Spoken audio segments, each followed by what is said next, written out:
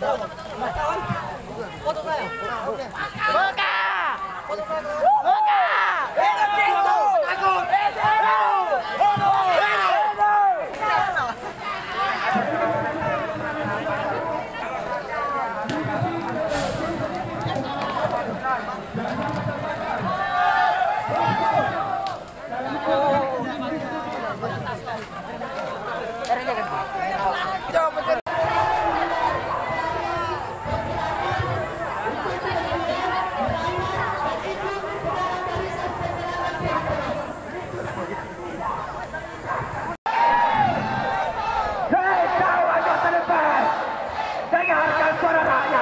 Jangan andalkan suara partai, apalagi suara kritik kalian sendiri. Nilai Pancasila